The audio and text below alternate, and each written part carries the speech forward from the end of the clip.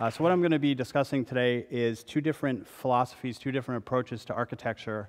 Uh, first, the idea of, of its time, uh, the idea that we should forget all established architecture, forget all the lessons we've learned from the past, and root our architecture firmly in the moment. so buildings built in 2015 should reflect 2015, not some kind of previous era. Uh, the other philosophy is timeless architecture, where uh, we learn from the past, we kind of bring forward the forms and, and ideas that we've used in the past uh, to develop an architecture for the 21st century. Um, so both have an interesting relationship to time, uh, where of its time, again, is rooted very firmly in the moment, and timeless has a much more fluid approach to architecture where um, it's not so specifically um, geared to one moment in time. Uh, before I um, move on, I wanted to define one term for you, and this is zeitgeist, and this is a very important uh, term in contemporary architecture. Uh, it's a German word that I'm going to be using throughout the presentation, and what it means is spirit of the age. And basically, uh, contemporary architecture believes that uh, all of our architecture from here going on for, going forward uh, should represent our time, the 21st century, be of its time, and not look back on any previous eras of architecture. Um, so, an important word to uh, keep in mind. Uh, before I go any further, I wanted to give you a little quiz. And you don't uh, have to write anything down or shout out any answers, but just think about this. Um, I'm going to show you two buildings and ask you which one was built first or which one is older. Uh, so here is building number one. Give you a moment to take a look at that. And then here is building number two. So once again, quickly, building number one, uh, building number two.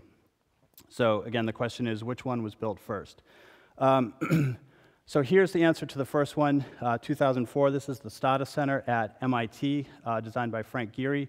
And I think you can understand that it's certainly a 21st century building uh, with its protruding windows and, and metallic materials and uh, kind of fractured uh, forms. We couldn't have built this way in, in the 18th or 19th century, for example. Uh, so something very much of its time, of the early 21st century. Uh, the answer to the second one might surprise you a little bit. Uh, this is uh, 2006, so even later than the Stata Center. This is the Schermerhorn Symphony Center in Nashville, designed by David Schwartz. And it um, demonstrates the idea of timelessness in architecture, this idea that the forms and ideas that have worked for us throughout history uh, can be updated and moved into the uh, 21st century. Uh, so what I'm going to do now is just go through uh, a couple more pairs of buildings and talk about um, the idea of, of its time versus timeless. Uh, and one of, one of the downfalls, I think, of building for, its for our time uh, is uh, kind of losing the legibility of buildings, losing the uh, readily identifiable elements in buildings that uh, kind of give us an idea of uh, where we are, where we're going, where we've been, and, and uh, even as practical as what the building is. Um, so this is a very recent building. It might just have been completed within the last six months or so.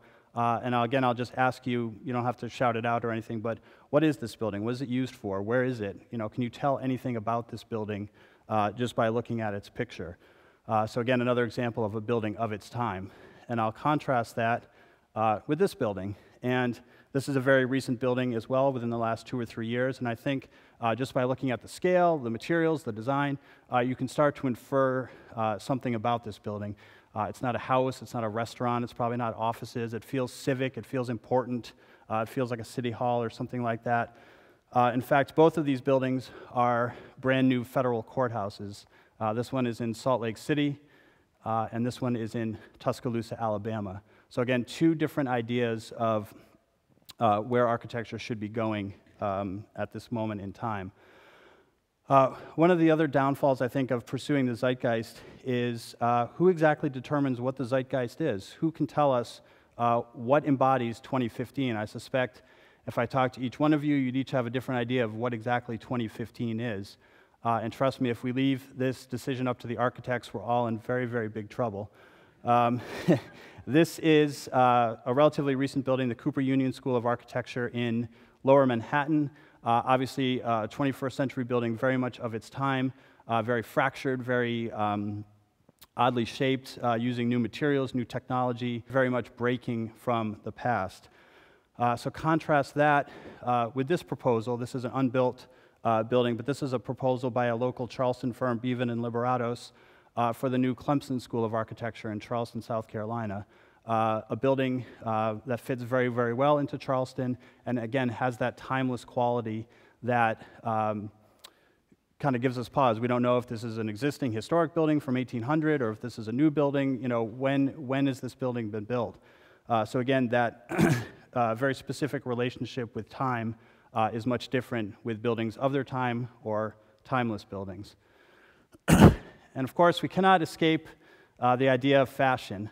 Uh, looking back on this uh, prom picture from the early 1970s, these people probably thought that they were on the very, very cutting edge of fashion uh, which unfortunately they probably were uh, in the 1970s. uh, but we look back on this picture and say, Mom, Dad, what on earth were you thinking? Why were you wearing uh, such a strange costume? Uh, it's the same in architecture. Uh, this is the Boston Architectural College where I taught for several years in Boston from 1966.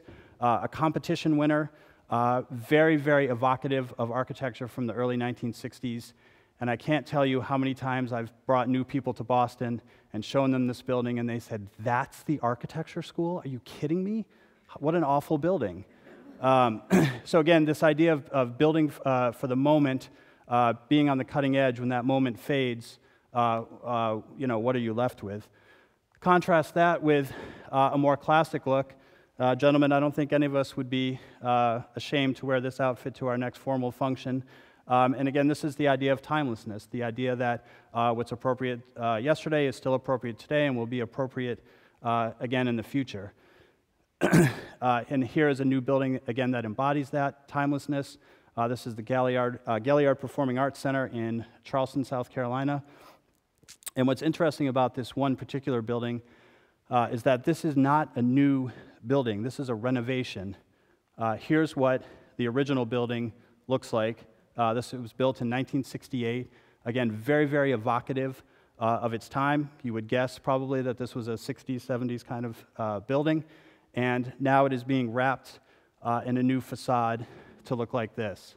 And preservationists and architects are up in arms over this building uh, because they say uh, this, this new classical facade is kind of stripping away its relationship to time, and you can't tell anymore when it was built. Exactly the point. um, but the other point is that um, looking at the exterior appearance of a building is only one way to tell a building's age. I'm sure we've all heard the adage, don't judge a book by its cover. Um, this building, the Gaillard, for example, um, is going to have the latest in uh, HVAC and plumbing and internet access and uh, all sorts of systems and acoustics and, and everything that, that marks it as an early 21st century building. Uh, so just because it builds on lessons from the past to create a timeless exterior. Uh, don't think that, that, that this building is not of its time, again, simply because of its exterior appearance. Uh, and the last issue I wanted to touch on is one that uh, us, uh, those of us in the architecture field are kind of afraid to talk about, uh, and that's beauty. Uh, Henry Hope Reed reminds us in The Golden City that beauty is the number one goal of architecture. Architecture should beautify the city and make our lives richer and better uh, uh, for, its, you know, for its appearance. And certainly, uh, beauty is in the eye of the beholder, and I see some of the horrified looks on your faces as you look at this slide. Uh, this is uh, Simmons Hall at MIT, uh, a building that's oh, probably eight or 10 years old at this point. And, you know, even though we may have differing standards of beauty, I think many of us would have trouble arguing that this is a beautiful building. so, why should we ignore uh, all of the uh, buildings that have come before us that have provided us with beautiful cities and beautiful places uh, uh and try and break from the past and uh, create this new, of its time architecture? Uh, contrast this building at MIT with the architecture school building at MIT, building from the early 20th century, but again, uh, a building that you don't know exactly when it was built by looking at it. It could be 1780, it could be 1922, it could be 2014. So, uh, in conclusion, uh, I would argue that uh, we should continue to learn from the past, to continue to update our architecture, uh, to certainly incorporate new technology and new ideas and, and experimentation and try different things. uh, but continue to learn from the past and update traditional architecture with uh, new technology and new ideas to create a timeless architecture for the 21st century. Thank you very much.